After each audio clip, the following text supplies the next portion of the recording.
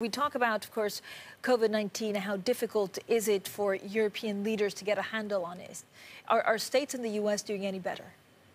We're having a lot of trouble getting vaccine to the people who need it right now in the United States. I think they've delivered about 6 million doses out of 22 million that are available.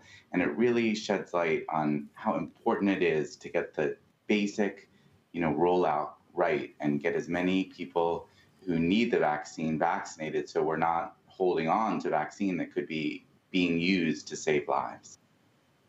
What is the right way of distributing vaccines? Does it need to be orchestrated at a federal level?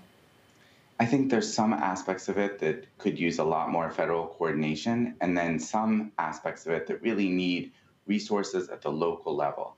Part of the campaign needs to be a volume strategy, really being able to find people so that vaccine doesn't go unused. And that can be partly through pharmacies, it can be partly through mass vaccination centers, very clear rules for who should show up, and being able to do that efficiently day after day after day. But if that all you do is just wait for people to come in, you're missing the people who really need to be vaccinated who might not come in. And so, in parallel to that, there should be a local effort, well funded, to go out to senior housing, to high risk workplaces, and vaccinate people on the spot. So I, I, would really like to see a strong mobile effort complementing the volume strategy. What's the hardest thing to do in these vaccination campaigns? Is it distribution? Is it, as you say, finding the right people and getting contact with them? Or is it, you know, choosing whether you need a first dose and then a second dose 12 weeks after or before? It is. It's a lot of logistics. It, it's really a lot because it's both the logistics of shipping the vaccine in these big containers, to figuring out how they'll get split up, to actually setting up the sites, to finding the staff for it. I don't think there's one potential rate limiting step. There are probably five or six, and so it requires really uh, a strong implementation operation and you know, I, I could imagine though that this will get better, that as these pieces fall into place, um, that will be able to set up vaccine centers. The pharmacies will do more. There'll be kind of a template for mobile operations, and teams can form and get vaccine. It's just um, a big challenge to get it set up.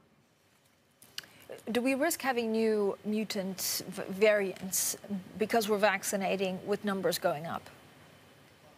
Well, that you know that is the, the virus is always mutating. That's what RNA viruses apparently do. They're they're you know not that efficient in their uh, reproduction, so you're constantly seeing mutations. And obviously, we would not like to see mutations that that compromise vaccination. Although uh, the way that these vaccines are designed, it makes it pretty unlikely for that to happen.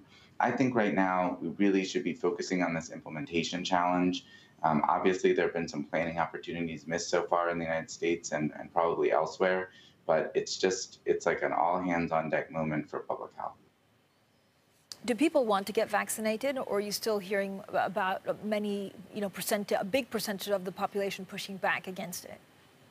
Um, I would say that there are people fall into three groups. You have people who really want to get vaccinated. They're the ones you see the pictures of, like sleeping out outside the pharmacies, thinking that maybe they can get vaccinated in the morning, um, and and others.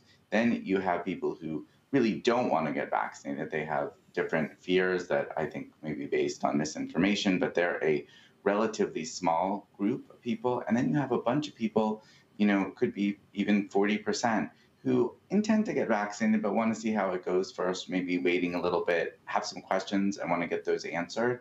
It's really important to engage with them to um, get them good information in ways that they can receive information. That's part of that local effort, too. I don't think that all can be done federally. Um, Dr. Sharfstein, when do we reach herd immunity on the vaccines? So because we're, uh, it's unclear how long these vaccines actually last for, does you know 80% of the population need to be vaccinated fairly quickly to make sure that we have five, six months of reprieve? So nobody knows that exact number. You know, it'll be um, empirical to a certain extent, meaning as the vaccination goes up, we'll watch what happens to the number of infections. We know that we can get there quicker if people follow the basic precautions of wearing a mask, washing their hands, keeping their distance, those things absolutely still matter. The number to keep an eye on is community transmission. I mean, we're just seeing, unfortunately, terribly high numbers of patients in the hospital and the intensive care unit. We have to bring those down, and we can do that partly with the vaccine, but partly with all the things that we need you know, to be doing to reduce the chance of the virus to jump from person to person. The faster we can do that, the quicker all the other aspects of this will come together and we'll be in a better position to, uh, you know, just continue to vaccinate and build up to, to herd immunity.